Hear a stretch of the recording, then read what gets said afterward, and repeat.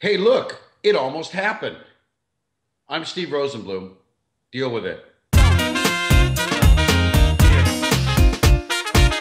So, the day after the Cubs released artist renderings of the new Wrigley Field area, and it really looks great.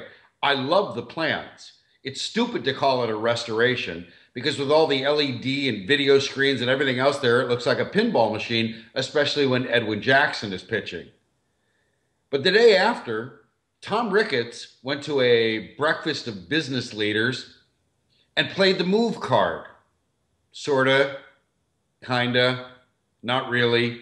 This guy just keeps sounding more lame every time he tries to talk tough.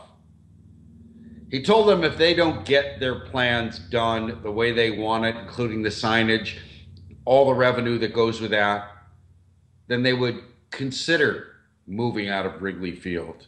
So that's Tom Ricketts trying to talk tough. It's laughable. And I guess he would consider moving the Cubs into Mr. Rogers' neighborhood.